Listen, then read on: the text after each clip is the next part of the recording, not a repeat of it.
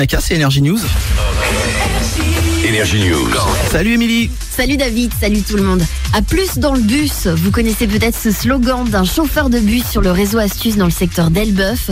Il cartonne sur TikTok avec son compte Happy Bus Driver suivi par 40 000 followers. Bisanti Mendy s'est lancé sur les réseaux avant tout pour faire sourire et présenter son métier.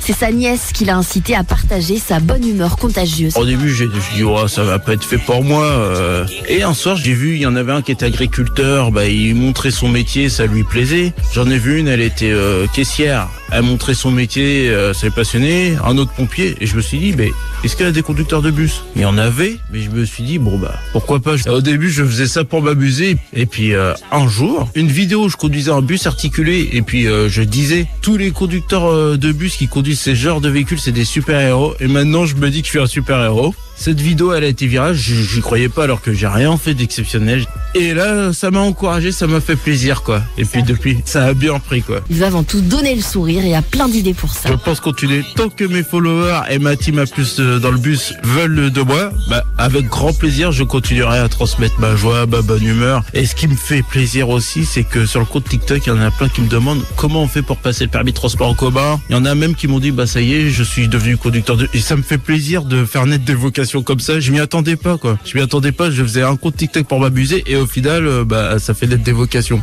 Une passion pour lui depuis très longtemps. Ça fait euh, 10 ans que je suis sur le réseau Astuce et que j'effectue ce métier. Et depuis tout petit, j'ai toujours voulu faire euh, conducteur de bus en fait. Depuis tout petit, je me suis toujours intéressé au réseau Astuce. Je m'en rappelle quand j'étais petit, au collège, on venait me voir, on me disait Bisanti, c'est quelle ligne qu'il faut prendre pour aller là Euh, le- À quelle heure il passe le bus? J'ai gardé toujours cette âme de être utile aux gens, les renseigner, se mettre à leur service. euh, c'est une deuxième passion. Et euh, malgré des découragements qu'on m'a dit non, c'est pas un métier bien ou c'est pas un métier fait pour toi, bah, j'ai écouté mon cœur et j'ai poursuivi mes rêves. Et depuis, je suis heureux de me lever chaque matin euh, pour faire euh, mon boulot et puis donner le sourire aux gens. Même ses collègues ont l'habitude. D'ailleurs, je m'excuse auprès de mes collègues quand il y a des jeunes qui me disent, bah, il roule sur quelle ligne le TikToker euh, Parce qu'à chaque fois, ils viennent me voir, ils me disent, bon, on t'a cherché partout. À chaque fois, les clients ils te cherchent, ils te réclament. Oui, les collègues à chaque fois, ils savent. Ils m'appellent, ah, tiens, le TikToker, c'est quoi qu'on fait un TikTok? Ça fait plaisir. Et puis même, je valorise le métier qu'ils font parce qu'ils sont tous courageux, parce qu'on se lève quand même tôt le matin pour amener les gens au boulot ou on finit tard le soir. On a des horaires décalés. euh, franchement, tous les conducteurs de bus, que ce soit sur le réseau Astuce ou partout, c'est des super-héros. Le TikToker Bisanti Mendy que vous croisez donc dans les bus du réseau Astuce.